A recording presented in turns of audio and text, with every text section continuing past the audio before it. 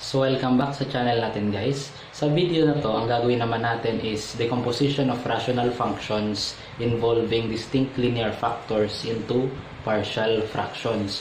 So pagdating kasi guys sa rational functions, meron tayong tatlong classifications. Meron tayong rational functions with distinct linear factors, meron tayong rational functions with repeated linear factors, and meron din tayo guys na rational functions with quadratic factors. So, unahin muna nating i-discuss yung about sa distinct linear factors. So, kailan ba natin masasabi ang isang function, rational function ay isang function na mayroong distinct linear factors. So, for example, dito sa isosolve natin ngayon, meron tayong x over x squared minus x minus 2. Tingnan nyo guys yung degree ng numerator at saka ng denominator. Sa numerator, meron tayong degree 1 kasi x lang naman siya, di ba? Sa denominator, meron tayong quadratic degree 2. Dapat guys, mas mataas yung degree ng nasa denominator kaysa sa numerator. Or, kung mas maiintindihan nyo, mas mababa yung degree ng numerator kaysa sa uh, degree ng denominator. So, kahit alin doon. Tapos guys, uh, isa pa sa mga way para malaman nyo na yung rational function ay distinct linear factors, tingnan natin yung denominator. Since meron tayong degree 2 guys, tingnan natin kung pwede ba natin siyang i-separate itong given trinomial natin into factors wherein magkakaroon tayo ng hindi parehong values ng x. Anong ibig kong sabihin? So, isolve natin para maintindihan natin. So, eto guys, x over x squared minus x minus 2. Pwede natin siyang gawin na equal lang naman siya guys ha. Dito ako. x over. I-dissolve natin yung factors nitong x squared minus x minus 2. So, meron tayong x, tapos close, tapos meron tayong x, tapos close. So, hindi ko pa alam kung plus minus yan, o parehong plus, o parehong minus. So, ang gagawin natin guys, uh, tuturuan ko kayo kung paano kuha ng factors kapag meron tayong quadratic. Di ba? So, kung mapapansin nyo, meron tayong negative 2. Di ba? So, lagay natin dito uh, negative 2. Or kahit hindi, hindi ko naisulat. Isipin nyo guys, ano yung mga numbers na kapag pinag-multiply ninyo, ang magiging sagot ay negative 2. So, ano, ano yung mga uh, numbers na yan or integers na ang product is maging negative 2. So kung iisipin natin, let's say for example, meron tayong positive 2, diba? Times negative 1 equal siya sa negative 2. So ito. Or pwede naman na meron tayong negative 2 times positive 1 equal pa rin siya sa negative 2. Diba? So meron tayong dalawang possible combination ng factors na magiging product ay negative 2. So alin dyan yung kukunin natin? Kasi dito natin yan ilalagay. So para malaman natin kung alin dito, ang susunod natin gagawin, titingnan natin yung coefficient ng uh, variable na may degree 1. So ibig kong sabihin, yung coefficient, numerical coefficient itong variable x natin. Diba? Negative, since wala tayong makukuha, uh, nakikita, may 1 dyan. Di ba? So, negative 1. Titingnan naman, na, titingnan naman natin ngayon dito sa mga factors natin kung alin dyan yung kapag pinag-add natin, ang magiging sagot ay negative 1. Di ba? So, meron tayong 2 tsaka negative 1. Subukan natin pag-add. 2 plus negative 1. Ang sagot guys ay 2 minus 1 equal sa 1. Then dito naman sa pangalawa, meron tayong negative 2 plus positive 1. Ang sagot guys ay negative 2 plus 1, negative 1. So, alin dito sa dalawang factors natin, 2 at saka negative 1 or negative 2 at saka positive 1. Alin dyan yung nakapag-satisfy both sa mga coefficients or numerical coefficients nitong quadratic denominator natin, di ba? So, alin yung may sagot na na negative 2 dito, pareho sila, di ba? So, kahit alin dyan. So, paano natin ngayon pipiliin sa kanila? Alin sa kanila yung may sum na ang magiging sagot ay negative 1. Ito may negative 1 tayo. Therefore, guys, ang factors natin is negative 2 at saka positive 1. So, ang gagawin ko ngayon, itong negative 2 at saka positive 1, isusulat ko dito. So, meron akong negative 2 at saka positive 1. So, na uh, i-express ko ngayon yung function natin na hindi na in quadratic form yung denominator niya, kundi nasa form na siya ng factors. Di ba?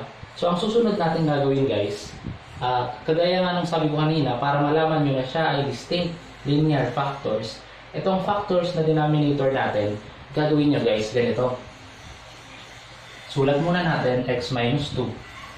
Diba? Tapos, equate nyo siya sa 0. Tapos, kunin nyo yung value ng x.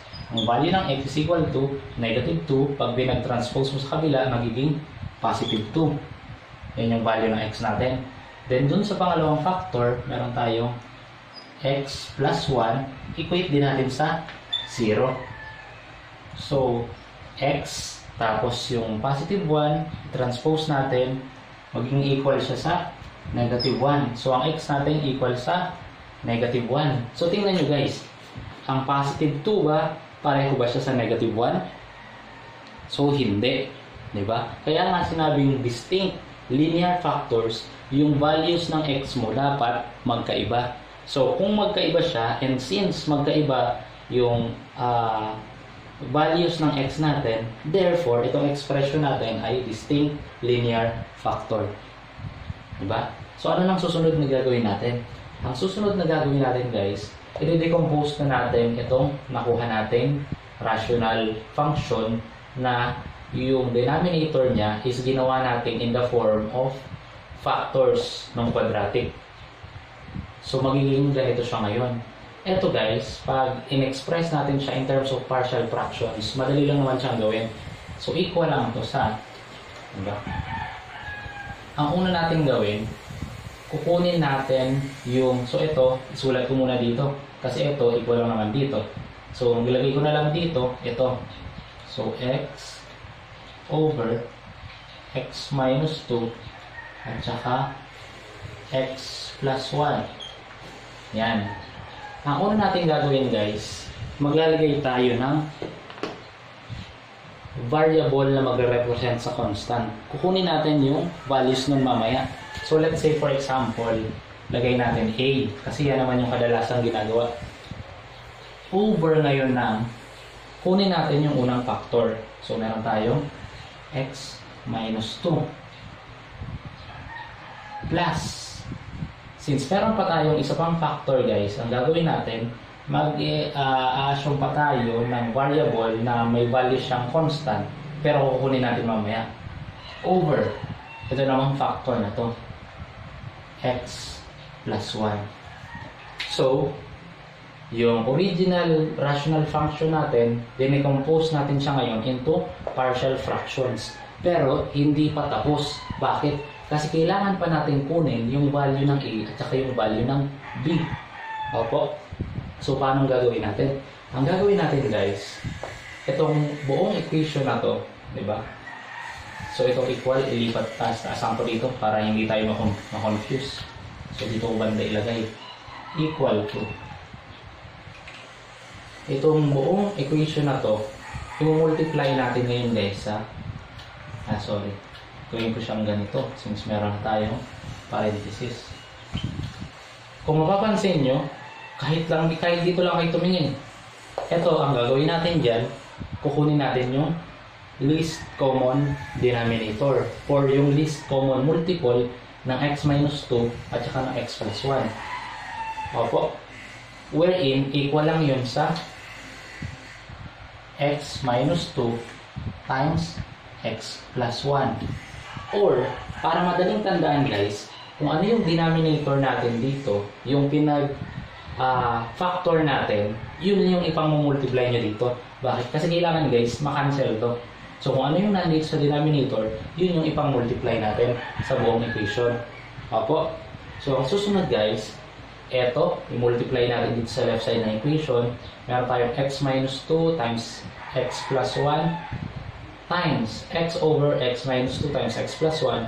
Itong x minus 2 at saka x plus 1 makancel nitong x minus 2 times x plus 1 na nasa numerator. Ang matitira dito guys, sa left side ay x na lang. Opo. Equal siya ngayon sa ito naman, yung multiply natin sa right side ng equation. So, ang papansin nyo, meron tayong plus. So, ito munang term na to, times nito. So, a over x minus 2 times x minus 2 times x plus 1. So, maka-cancel guys yung x minus 2. Di ba? Ito kasi nasa denominator, ito mapupunta sa numerator. So, maka-cancel lang yan. Ang matitira guys is x plus 1 times a. So, meron tayong a times x plus 1 plus, di ba? Itong plus na to. Plus.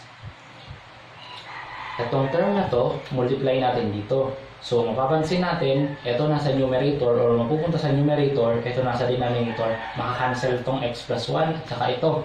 So, ang matitira, b. So, meron tayo ngayong b times x minus 2. Yan. So, ito na ngayon guys. Ano pong susunod natin gagawin dyan?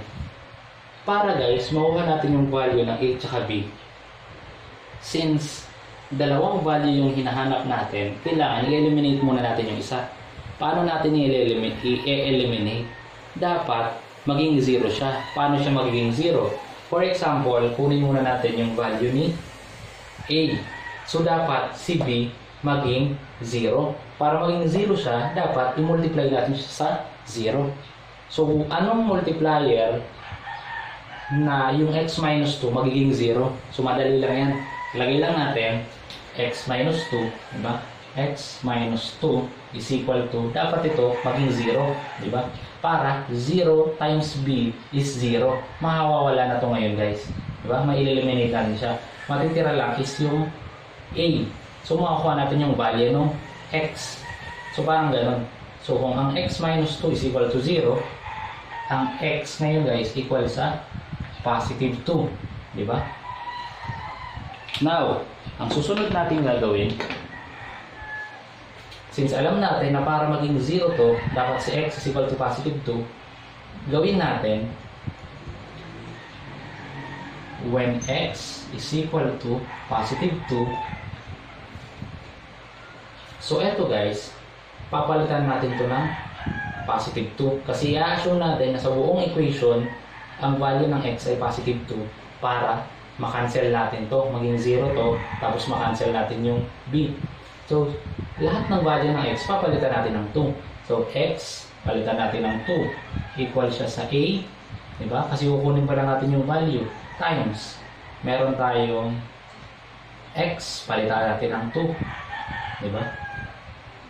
Plus 1 plus itong plus na to b times x. Palitan natin ng 2 2 minus minus 2 okay na. Nagaya na natin to. Ang ginawa lang natin yung x pinalitan natin ng 2 kaya naging mga 2 yung mga x dito.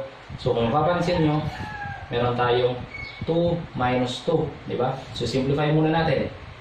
2 is equal to A times 2 plus 1 is 3 plus B times 2 minus 2 is 0. Na-achieve natin yung goal natin na dapat maging 0 to para maging 0 si B. Makancel natin siya. Therefore guys, meron tayong natira dito na 2 is equal to, di ba? 3 times A is 3A plus 0. So, kahit hindi na natin isulat yung plus 0, kasi 3A lang din naman yung magiging sagot. So, ito guys, burahin to.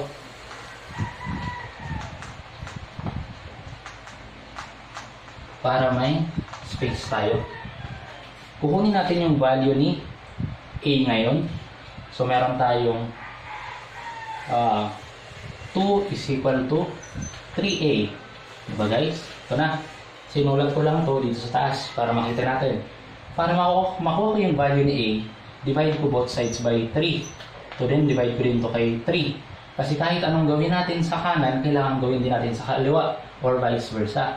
So dito, makakancel si 3, makakancel si 3. Diba? Matitira dito sa A. So lagay ko siya dito sa left side. A is equal to, ang value ng A ko ngayon ay 2 thirds. Opo. So ano susunod nating gagawin? Susunod nating gagawin guys, isa-substitute natin yung ah, value ni A ah, pero mamaya na muna. Kailangan dito guys, dito kasi, nakuha na natin si value ni A. Kunin naman natin yung value ni B. Para makuha natin yung value ni B, dapat makancel muna si A. Di ba? So, para makancel natin yung A, dapat yung A, i-multiply natin sa 0. So, para maging 0 to, ibig sabihin, meron tayong, so ito, gawin natin, i-underline ko na kasi may sagot na tayo. Yung x plus 1, x plus 1, dapat maging 0. Diba? So, kung dapat maging 0 siya, yung x ko ngayon, ang value ay tatranspose ko to sa kabilang side na equation, yung positive magiging negative 1. So, yan na.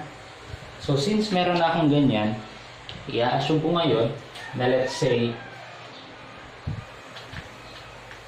when x is equal to negative 1, susulat ko ngayon guys itong equation natin na to. Di ba? So, para hindi tayo malito, isulat natin to.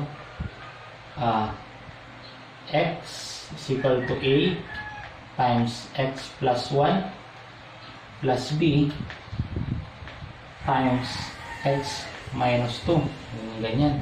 So, lahat ng values ng x, palitan natin ng negative 1.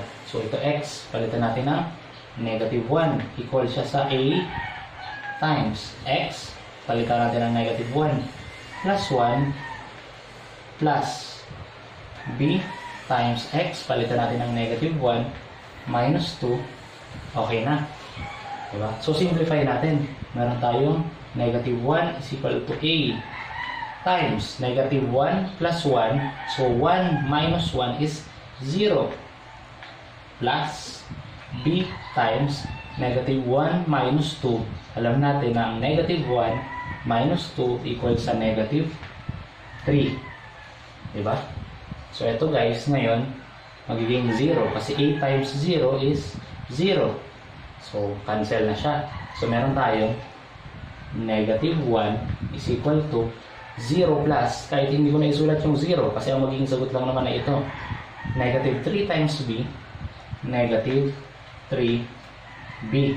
Para makuha, makuha ko yung value ng b, divide ko both sides by negative 3. Ito din, negative 3. So, makakancel tong negative 3, makakancel tong negative 3. Ang natira dito guys ay b. Di ba? b is equal to meron akong negative 1 over negative 3. Negative divided by negative is positive. So, meron akong positive 1 over 3. Ito na yung value ng b natin. So, ang susunod natin gagawin, ipapalit natin tong value ng a at saka ng b natin guys dito sa dincompose natin kanina.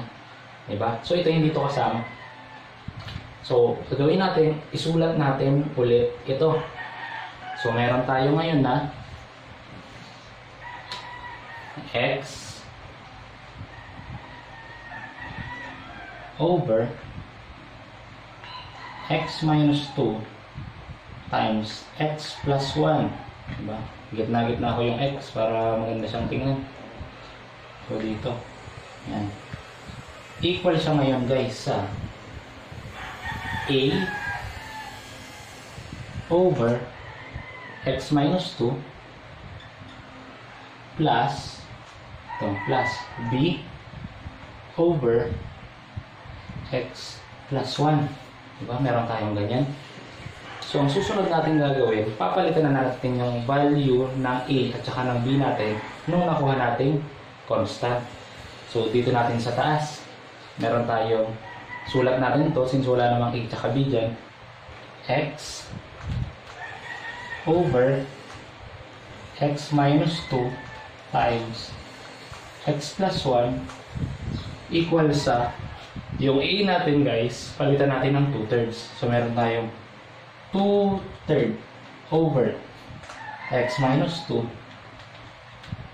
plus yung B natin ngayon guys, palitan natin ng 1 third. 1 third over x plus 1. Diba? So, ang susunod natin gagawin, since meron tayong fraction na nasa numerator, yung denominator natin, ibaba natin sa denominator nitong whole fraction natin. So, parang magiging ganito siya, guys. Ibig kong sabihin, magiging ganito siya. x over x minus 2 times x plus 1 equal siya sa 2 over 3 times x minus 2 plus 1 over 3 times x plus 1. Ganyan yung sinasabi ko ngayon, guys. Now, ang susunod natin gagawin, itong given natin, di ba? Kasi ito, equal lang naman dito. Pinag-decompose lang natin para makuha natin yung, or pinag-factor lang natin para makuha natin yung linear factors or malaman natin kung meron siya ba ay distinct linear factors. So ito, palitan ko na guys ito. Diba? So meron tayo ngayon na x over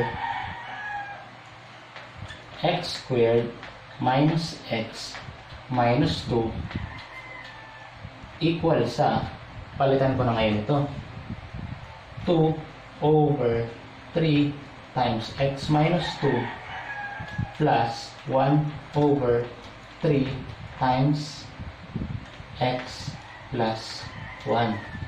So, pwede na tong final answer guys. Di ba? Or, kung gusto niyo naman, i-multiply pa natin itong buong equation by 3 para matanggal tong 3 dito. So, halimbawa, or since ito ay ito na, okay na yan. So, uh, kung ako kasi ang gagawin ko pa niyan, i-multiply ko pa yung buong equation by 3 para matanggal tong 3 dito. So, since ang hinahanap naman natin is yung partial fraction decomposition nito at nakuha na natin to, okay na yan. Therefore, ito na yung final answer natin for this given rational functions. So, ganun guys, kapag kukuha tayo ng uh, or magpe-perform tayo ng decomposition of rational functions involving distinct linear factors into partial fractions.